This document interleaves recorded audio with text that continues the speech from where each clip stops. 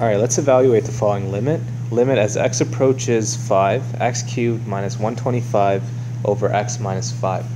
Alright, so before we actually look at simplifying this rational expression any further, we want to test to see if this limit actually provides a restriction. And you can notice here that if x does approach 5, the denominator will actually equal 0. So we know that if the denominator is 0 in a rational expression, that this becomes undefined. So we need to kind of circumvent for this and I'm going to take a look at the numerator. I want to factor this to simplify the entire expression.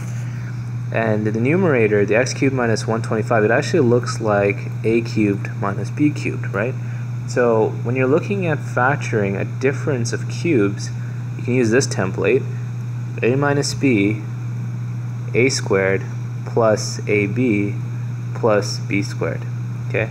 If you look at this uh, sign here, this is the sign that changes right? So this is going to be opposite of what your initial um, relationship or re initial expression is. If it's a difference of cubes, this is going to be a positive. If it's a sum of cubes, this is going to be a negative, right? This last term is going to stay the same.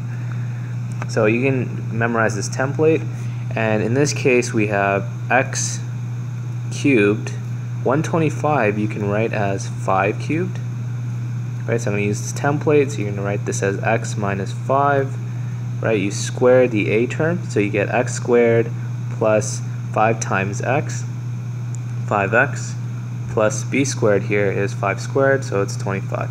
Okay, so this is what the numerator is going to look like. Then I'm going to substitute this factored form of the numerator back into the limit, right? So now the limit is going to look like this. Limit as x approaches 5.